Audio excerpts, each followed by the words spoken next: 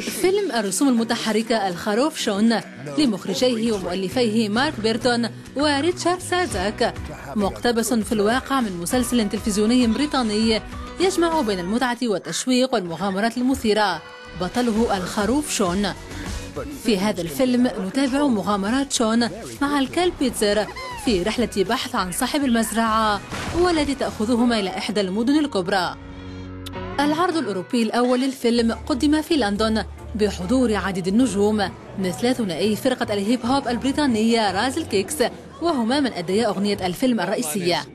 في الواقع أنا من أشد المعجبين بالرسوم المتحركة التي تنتجها أردمان. Look sharp.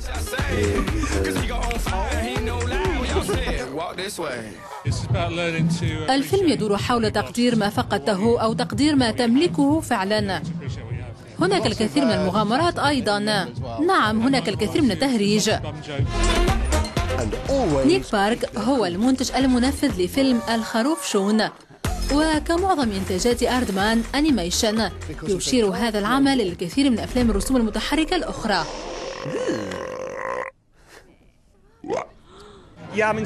منذ البداية أردنا أن تكون هناك دائما إشارة في أعمالنا إلى أفلام رسوم متحركة أخرى وهذا ما قام به المخرجان في فيلم الخروف شون. إنه شيء ضروري في إنتاجات أردمان.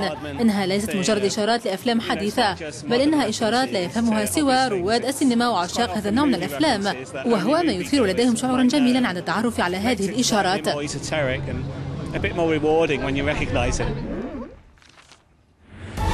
great escape.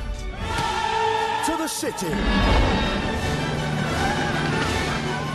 فيلم الرسوم المتحركة الخروف شون يعرض قريبا في قاعة السينما العالمية